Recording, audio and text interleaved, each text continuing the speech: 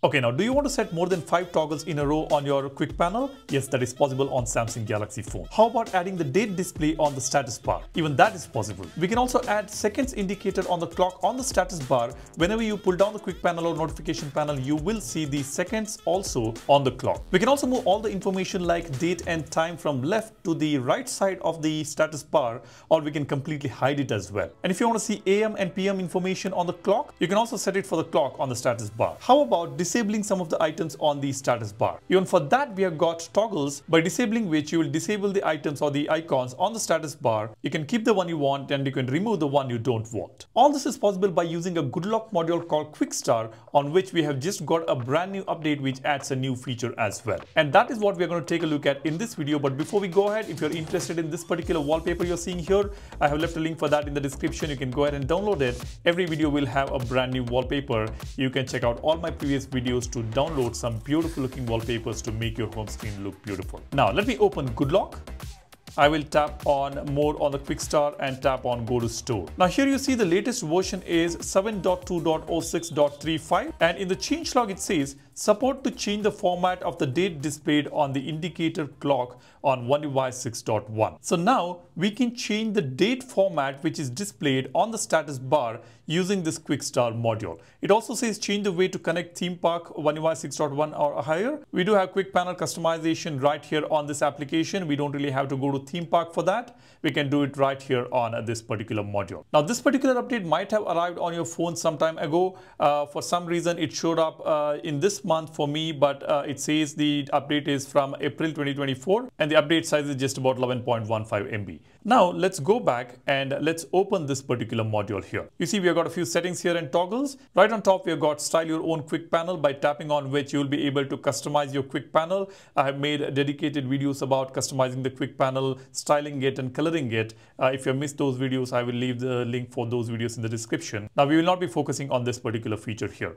Now the second option is visibility of indicator icons. When I tap on this, you see all the items uh, are available here and we have got a switch to enable or disable it. Now let's say I don't want to see the volume indicator on the status bar, I can just disable it. You see when I disable this toggle, it disappears here and when I enable it, you will see the volume indicator right here. Likewise, I can also uh, disable the uh, Wi-Fi indicator. You see, I have just disabled it, it uh, disappears and then when I enable it, it appears here. So we've got a list of uh, all the indicators that we have on the status bar. You can customize it. You can enable or disable the item that you want to show up on the status bar. Now I would like to have everything on the status bar so I've enabled it. But if you don't want something, you can disable it easily here. Now the most important option, the clock settings. Let me tap on this. You see we have got three options, show date, show AM PM information, show seconds. Now, when you enable all these, you will be able to see the date right here. You see it says uh, Sunday 19th May. And when I uh, pull down the quick panel or notification panel,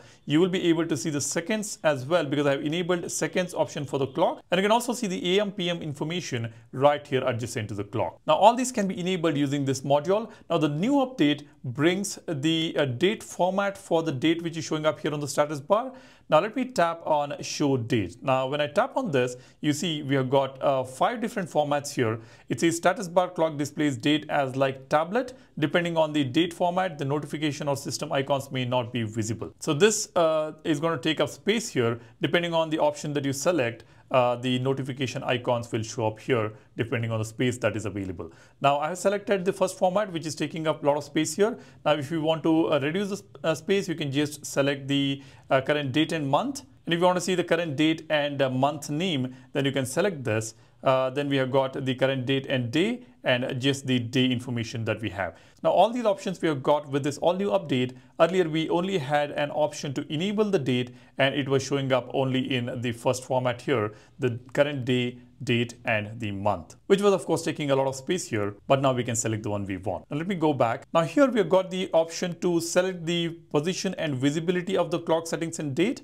Now it is set to left by default. If you want to completely hide it, you can hide it. You see there is no information at all on the left now. Uh, if you want to set it to the right, you can set it here, uh, but uh, there is a caveat here. You can see it says changing the position of the clock and increasing system icons can overlap each other.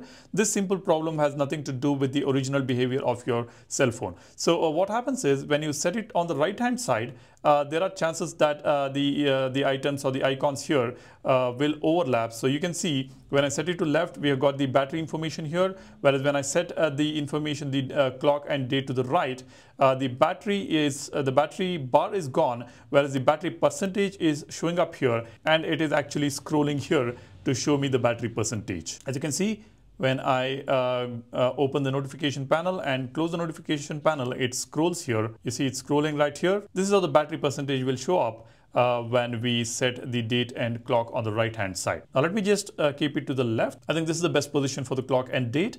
Now let me go back. The next option we have got is apply color palette to notification icons. Now what this means is let's say you have applied color palette on your phone, the colors will get applied to the notification icons also. So when you swipe down the notification panel, you will see the notifications not with the default icon colors. Most icons will have the color palette. So uh, if you don't want that to happen, if you don't want the color palette uh, to get applied to the the notification icons, then you can just enable this particular toggle in QuickStar. This will disable the color palette application on the notification icon. After this, we have got the best feature available here, change quick setting button grid. We can increase or decrease the size of the uh, button grid here. You see, I'll set it to uh, the minimum and this is how it's going to look. It's 3 by 3 and if I set it to let's say mid-level, we've got uh, 4 by 3 if you want more toggles on the quick panel, then you can increase it to maximum so that you can get a 6 by 3 grid which is just fantastic. Let me know which is your favorite feature among all these options, drop a comment.